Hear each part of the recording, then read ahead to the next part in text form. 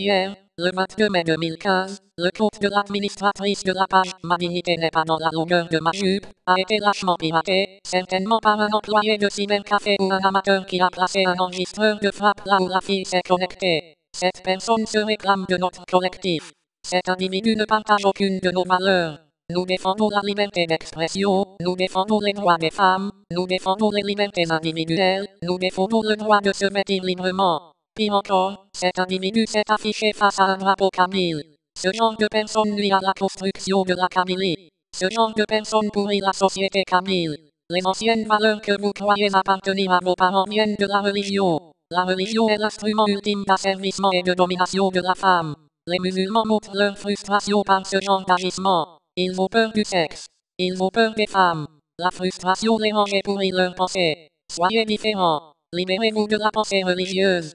Libérez-vous de vos entraves. Soyez libres. Des berbères. Nous montrons par ce message notre soutien à la jeune fille, à la page et sa communauté, ainsi qu'au combat qu'elle a mené et que nous continuerons. Ma dignité n'est pas dans la longueur de ma jupe. Sa dignité n'a jamais été dans la longueur de sa jupe. Ma dignité ne sera jamais définie par la longueur des vêtements que je porte. Tu es libre. Tu es libre. Je suis libre. Je suis libre. We are anonymous. We are legion. We do not forgive. We do not forget.